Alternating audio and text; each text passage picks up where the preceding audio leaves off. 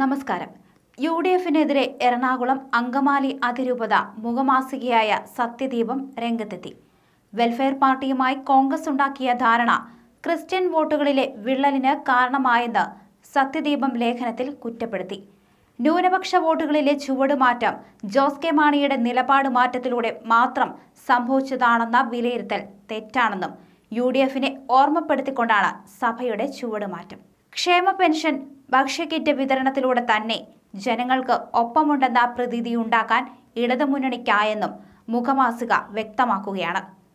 തദ്ദേശ തെരഞ്ഞെടുപ്പിൽ ഇടതുമുന്നണിക്കുണ്ടായ ഈ നേട്ടത്തെ പ്രകീർത്തിക്കുന്നതാണ് സത്യദീപത്തിന്റെ മുഖപ്രസംഗം. തെരഞ്ഞെടുപ്പിൽ യു ഡി എഫ് സ്വീകരിച്ച നിലപാടുകളെ മുഖപ്രസംഗത്തിൽ ശക്തമായി തന്നെ വിമർശിക്കുകയും ചെയ്യുന്നു.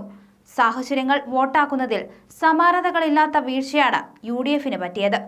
ക്രിസ്ത്യൻ വോട്ടുകളുടെ ചുവടുമാറ്റം അതിൽ പ്രധാനമാണെന്ന് മുഖപ്രസംഗം വ്യക്തമാക്കുന്നുണ്ട്. അതേസമയം തന്നെ ലവ് ജിഹാദ് വിഷയത്തിലടക്കം സഭ നേരത്തെ തന്നെ നിലപാട് പരസ്യമാക്കിയിട്ടും വെൽഫെയർ പാർട്ടിയുമായി കോൺഗ്രസ് ധാരണയുണ്ടാക്കിയത് മതനിരപേക്ഷ മുഖം നഷ്ടമാകുന്നുവെന്ന് തോന്നൽ ക്രിസ്തീയ വിഭാഗത്തിലുണ്ടാക്കി. ഇത് പരമ്പരാഗത ക്രിസ്തീയ വോട്ടുകൾ ഐക്യമുന്നണിക്ക് നഷ്ടമാക്കി. കോൺഗ്രസ് ലീഗിന് കീഴടങ്ങിയെന്ന ഇടത് പ്രചരണ ഫലം കണ്ടു. സംസ്ഥാന രാഷ്ട്രീയത്തിലേക്ക് പി കെ കുഞ്ഞാലിക്കുട്ടി ചൂടുമാറുമ്പോൾ യു ഡി എഫിന്റെ രാഷ്ട്രീയ ദിശാഗതികളുടെ ലീഗ് ഗ്രഹണം ഏറെക്കുറെ പൂർണമാകുന്നുവെന്ന രാഷ്ട്രീയ നിരീക്ഷണം പ്രധാനപ്പെട്ടതാണെന്നും മുഖപ്രസംഗം വ്യക്തമാക്കുന്നുണ്ട്. അതേസമയം തന്നെ വെൽഫെയർ പാർട്ടിയുമായി ഇനി കേരളത്തിൽ ബന്ധമുണ്ടാകില്ലെന്നാണ് കെ പി സി സി അധ്യക്ഷൻ മുല്ലപ്പള്ളി രാമചന്ദ്രൻ കഴിഞ്ഞ ദിവസം വ്യക്തമാക്കിയത്. ജമാഅത്തെ ഇസ്ലാമിയുടെ രാഷ്ട്രീയ രൂപമായ വെൽഫെയർ പാർട്ടിയുമായുള്ള നീക്കുപോക്ക് വഴി മുസ്ലിം ജനവിഭാഗത്തിൽ തന്നെ ഒരു വലിയ വിഭാഗം യു ഡി എഫിന് എതിരായി.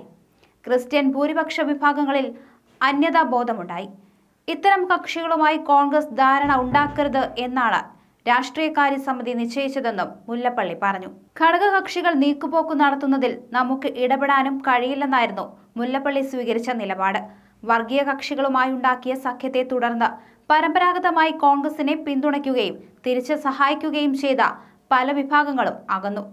അവരോട് കരുതലോടെ സംസാരിക്കാനും പ്രശ്നപരിഹാരത്തിനും കഴിയാതെ പോയി. ജമാഅത്തെ ഇസ്ലാമിയുമായുള്ള രാഷ്ട്രീയ ബന്ധം അരുതെന്ന അഖിലേന്ത്യാ കോൺഗ്രസ് കമ്മിറ്റിയുടെ നിലപാടാണ് കെ പി സി സി അധ്യക്ഷൻ ഉയർത്തിപ്പിടിച്ചത്. നിയമസഭാ തെരഞ്ഞെടുപ്പിൽ സഖ്യം ആവർത്തിക്കരുതെന്നാണ് അഭിപ്രായം ഉയരുന്നതും അത്തരം വർഗീയ കക്ഷികളുമായുള്ള ബന്ധം തിരിച്ചടിക്കുകയുള്ളൂവെന്നും മുല്ലപ്പള്ളി പറഞ്ഞിരുന്നു.